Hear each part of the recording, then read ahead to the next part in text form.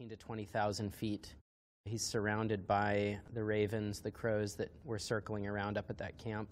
Kind of one of those. These together, and that's sports. We have the Baltimore Orioles, the Baltimore Ravens football team, Michael Phelps, the Olympian, Under Armour, you may have heard of, is an. You know, over a two week period. Now, they were competing with ravens and coyotes and magpies and eagles because they were trying to consume it too.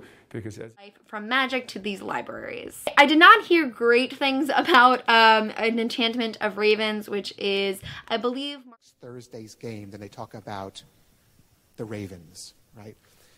They build this family of people who care about them.